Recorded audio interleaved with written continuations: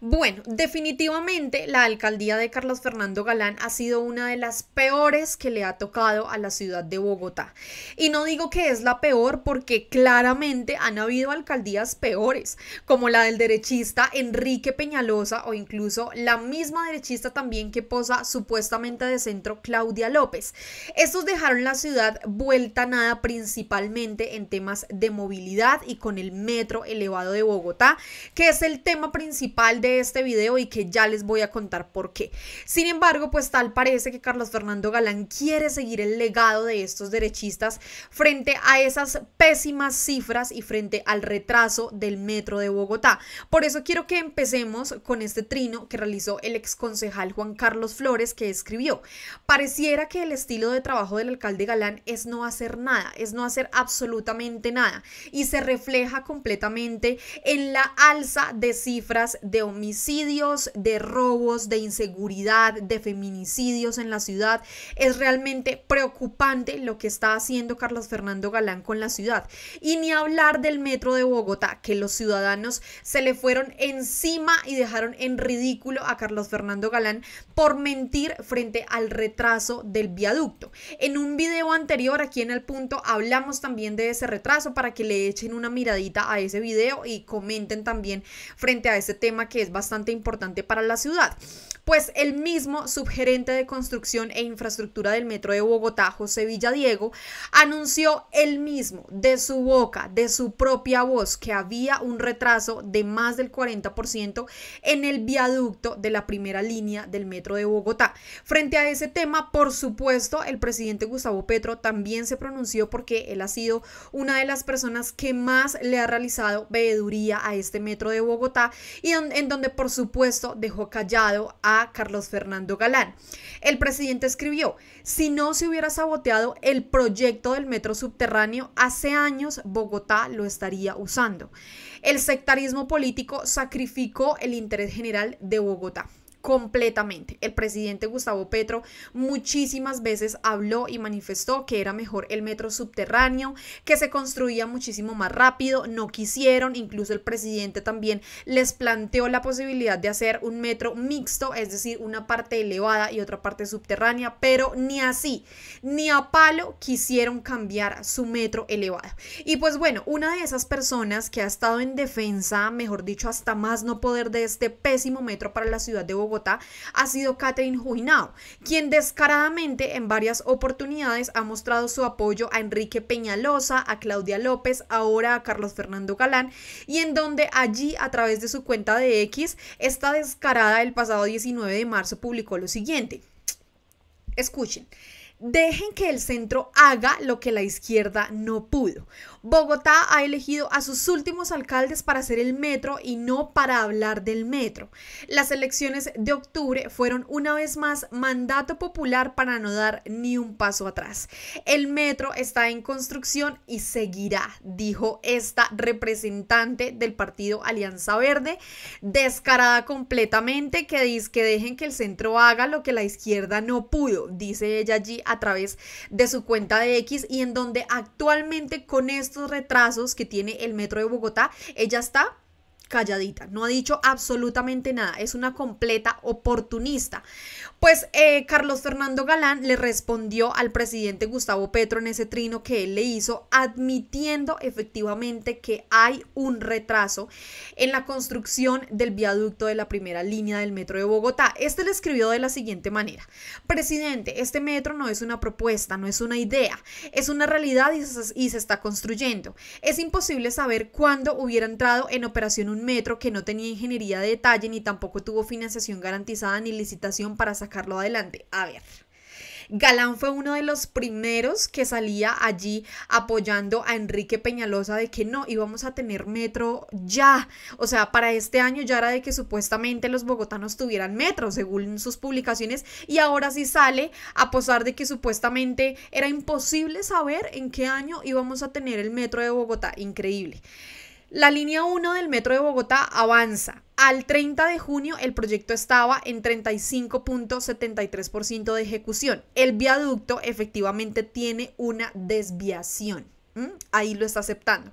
Pero no ha habido incumplimiento de ninguno de los hitos. Debería ir en 22.1% y va en 13.6%. En efecto, va en ese retraso del 40%. Estamos trabajando día y noche para recuperar el tiempo y ajustarnos al cronograma para diciembre, pero, por ejemplo, los sistemas metroferroviarios y el material rodante tienen un adelanto. Van en 27%, mientras que según el cronograma tendrían que estar en 18%. Ok, entonces ahora le tenemos que agradecer el hecho de que esté trabajando en el metro de Bogotá. Es un descarado. Le reitero la invitación a que en vez de discutir eternamente sobre proyectos hipotéticos, trabajemos para sacar adelante los proyectos reales, como la línea 1 del metro. Eso espera Bogotá y todo el país, dice el alcalde que no hace absolutamente nada por el país. Pues bueno, los ciudadanos empezaron a responderle allí tanto al presidente Gustavo Petro en ese trino que respondió frente al atraso del viaducto de Bogotá, como a Carlos Fernando Galán, lejos de imaginarse en que este les iba a responder con videitos y mostrándole supuestamente su gestión. Julieta escribió, presidente, este metro no es una propuesta, no es una idea, es una realidad y se está construyendo. En la imaginación de Peñalosa, López y Galán, escribió allí la usuaria Julieta en respuesta a ese trino de Carlos Fernando Galán en donde él le respondió al presidente Gustavo Petro. Y Galán inmediatamente le respondió. Él le publicó simplemente este video que ustedes están viendo allí a continuación. Eh, no tiene sonido el video, allí se está mostrando la supuesta construcción, o sea, ese es el metro ya en el que está andando la ciudadanía, ¿no? Eh, las construcciones que supuestamente se están haciendo, em, los pilotes, bueno, en fin, ese es el video que Carlos Fernando Galán publicó y que ustedes están viendo ahí a continuación. Sin embargo, otro usuario también le escribió, el alcalde Carlos Fernando Galán dice que el metro de Bogotá no es una idea, sino una realidad. Y sus pruebas son un par de pilotes y un viaducto con un atraso del 40%. Ahí tienen su alcaldía técnica, escribieron. Esto en otra alcaldía, si fuera en la alcaldía del presidente, si fuera en la alcaldía en su momento de Gustavo Petro, estarían los medios, mejor dicho, dándole con toda. Estarían todos en contra del presidente Gustavo Petro, pero ya sabemos cómo son de acomodados. Y en este momento todos guardan silencio, no hay escándalo, esto no es tan primicia, o sea, absolutamente nada. Carlos Fernando Galán volvió y le respondió a este usuario de, de X, Alexander Klein, y le dijo, Aquí va su par de pilotes. Por cierto, son 75 columnas porque pilotes van 2.350. No, pues qué orgullo. Y este es el video que él publica que ustedes están viendo igualmente ahí. Igual sin sonido se ven los pilotes del metro de Bogotá, igualmente pues el retraso, él ahí peleando con la ciudadanía en vez de claramente estar agradecido con la ciudadanía de Bogotá que lo llevó a la alcaldía de la capital y que no ha hecho absolutamente nada por ella, es un descarado completamente. Y pues bueno, Frente a eso, la concejal del pacto histórico, Donka Atanasova, ella fue una de las primeras en salir a denunciar el atraso del viaducto del metro de Bogotá, le respondió contundente a ese trino que escribió allí Carlos Fernando Galán. Y él escribió, alcalde, no basta con mostrar videos de 75 columnas del metro cuando aún faltan 842 para finalizar la obra. Le recuerdo que fue el subgerente de la empresa de metro quien informó que el viaducto está retrasado en un 40 40.9%. Lo preocupante no es solo el atraso, sino la falta de comunicación transparente con la ciudadanía. No confundan con cifras que agrupan diversos componentes en los informes de avance o mostrando videos de los que se ha hecho como si eso desmintiera el atraso. Es mejor admitir los atrasos, informar con claridad y buscar soluciones. Concuerdo completamente, igual que hace el uribismo, disfrazando con cifras y disfrazando con videos lo que está sucediendo en este tema tan importante con el metro de Bogotá y pues bueno, quiero que ustedes mismos escuchen las quejas de la propia ciudadanía con este tema del metro de Bogotá. Hay calles cerradas, hay estaciones de Transmilenio que no están funcionando, los polisombras están sirviendo para que los ladrones hagan sus fechorías, roben a las personas, se curan con estos polisombras, en fin, de verdad que la construcción de este metro elevado ha sido realmente tediosa para la ciudad, ha sido realmente complicada, pero más que todo en tema de movilidad y seguridad. Préstenle muchísima atención a este informe que hizo RTBC y ellos escribieron, el retraso en el viaducto del metro de Bogotá es de 40%. Esta es la reacción de los ciudadanos por demoras de las obras. Escuchen por favor. la promesa de un sistema de metro en Bogotá sigue siendo un motivo de frustración y descontento entre los ciudadanos. Cada alcalde llega y hace lo mismo, rompe, pero no termina. Y queda, y queda, y queda la cola, la cola, la cola.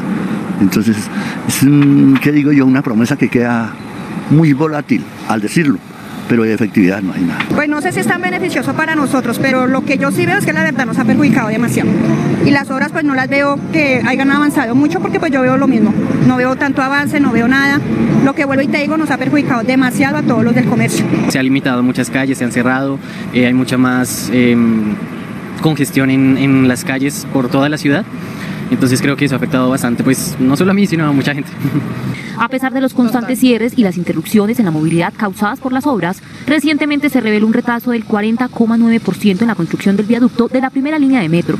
El subgerente de Construcción e Infraestructura del proyecto admitió que el progreso debería haber alcanzado 22% según el cronograma inicial. Sin embargo, hasta la fecha, el avance es solo de 13%, evidenciando un desfase considerable. Nos dijeron originalmente que terminaban en el año 23. Entonces sufrieron una serie de retrasos en la ejecución de la obra del metro y entonces nos dijeron que en el 25. Se presentaron otra cascada de retrasos y entonces ya nos dijeron que en el 28. Nos han dicho que las obras van muy bien, que el avance va muy bien, pero en realidad si el viaducto está tan atrasado, es difícil que las obras generales del metro puedan darse en el plazo que el alcalde ha anunciado en repetidas ocasiones.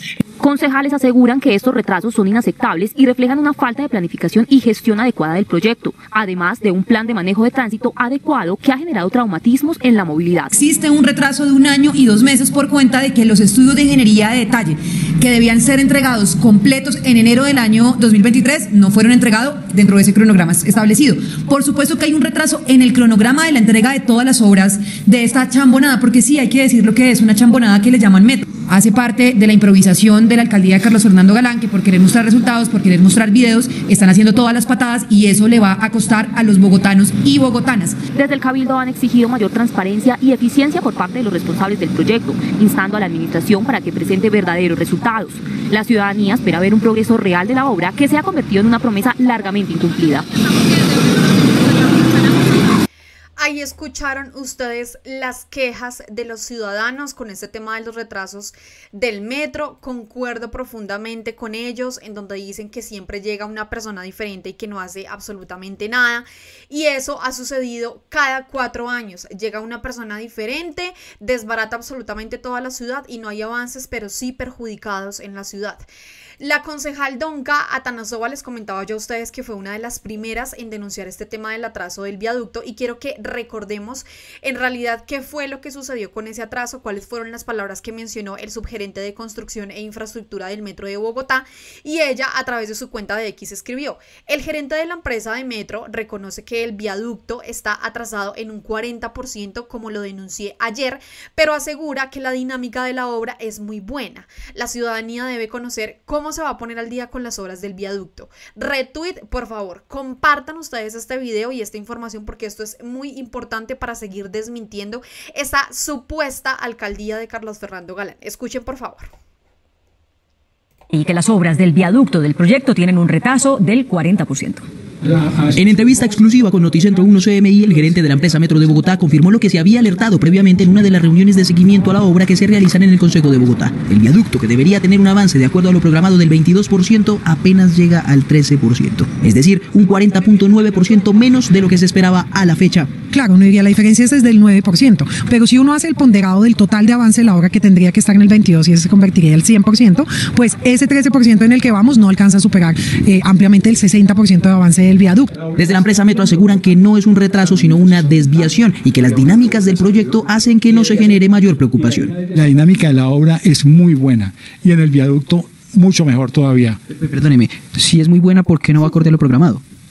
Porque hay una serie de actividades que no se han culminado el 30 de junio y que no se evalúan como culminadas. Con mucha confianza, el distrito ratifica que pese a lo que ocurre hoy con los porcentajes de avance programados y los reales, el metro será un hecho en el año 2028. En marzo del 2028 iniciará la fase de operación comercial, se subirán en el metro, no tengo la menor duda, trabajamos para eso y miramos todos estos eh, números que no se pueden ver de manera aislada. El metro es un todo y estoy seguro que llegaremos a esa fecha. 2028. Guarden ustedes por favor este video para ver qué ha pasado de aquí al 2028, a ver si es verdad que supuestamente ya los bogotanos van a contar con el metro de Bogotá, si ya por fin se acabó en definitiva ese tema del metro, si se han puesto a trabajar, si Galán ha hecho algo por la ciudad de Bogotá.